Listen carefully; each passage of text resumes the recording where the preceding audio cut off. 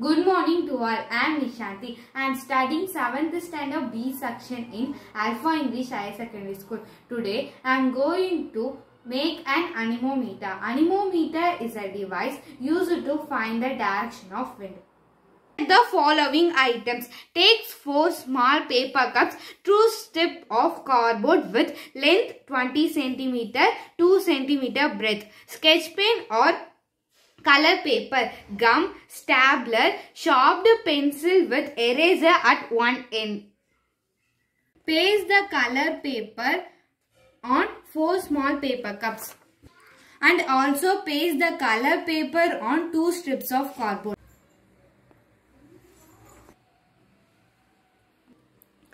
Fix the strip at the center, putting one over the other so that they make a plus sign.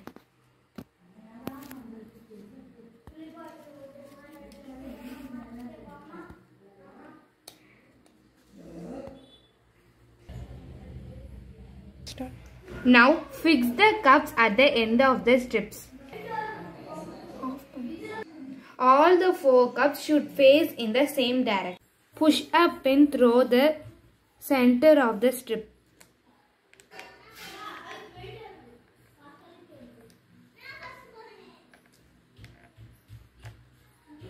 And attach the strips and the cups to the eraser of the pencil.